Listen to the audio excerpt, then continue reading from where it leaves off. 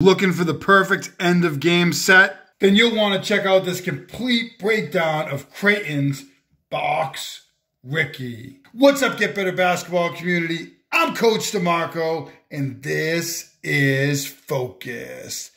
In today's episode, I'm going to take you through the simple but effective action that Creighton used to get a wide open three pointer in the NCAA tournament. This is an action that many teams have used in the past, including NBA teams, to get the same scoring opportunity. It's really, really simple set. You start in a box. A lot of teams like to use box actions in sideline out of bounds situations. And we're going to get a screen across from our one player to our five, and these numbers are pretty interchangeable. But I want to point out that we have our star or our shooter in this particular shot spot. Five is going to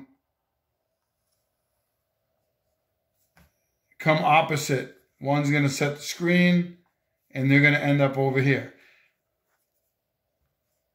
We're also going to get a screen from four to this player. Now, you could get an open shot off of that screen. It's possible, but that's not the primary look in this particular action. If it's there, great. I'm sure they'll take it. But we're instead going to get a pass from this three player on the sideline out of bounds set over to five. Now, our star player or our shooter has just gotten a screen from the four.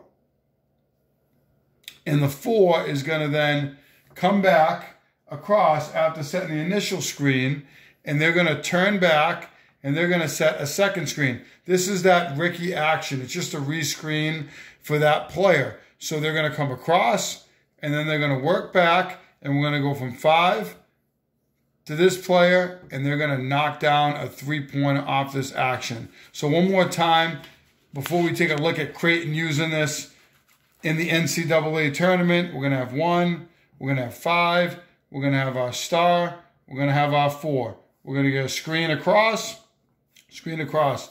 Five is going to end up over here. Our star is going to work this way. We're going to get a pass to five, and then our four is going to rescreen, and we're going to work back with our star player, and they're going to get an open three-point look. Great action late in the shot clock, late in the game when you need a three-pointer. Very, very popular action. Let's take a look at how Creighton executes this box Ricky action. So here's Creighton. They're in that box look. Here is that star player that's going to get the screen and then the rescreen off of it. So we're going to have the initial screen. We're going to get the one player screening and our five coming here. We're going to get our screen for that star player. They're going to work across and they're not going to be open here. Defense is going to do a good job. This player is going to catch. Here's our rescreen or our Ricky action. And we're going to come right back across. Quick catch and shoot for a three-pointer.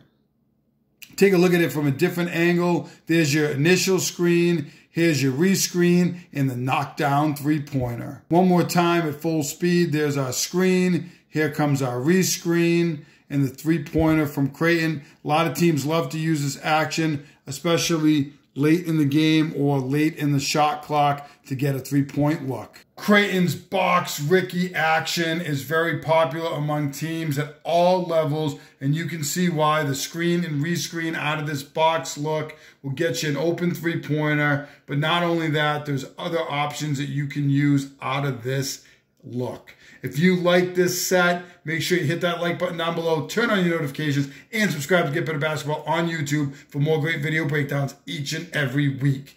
As always, get better every day.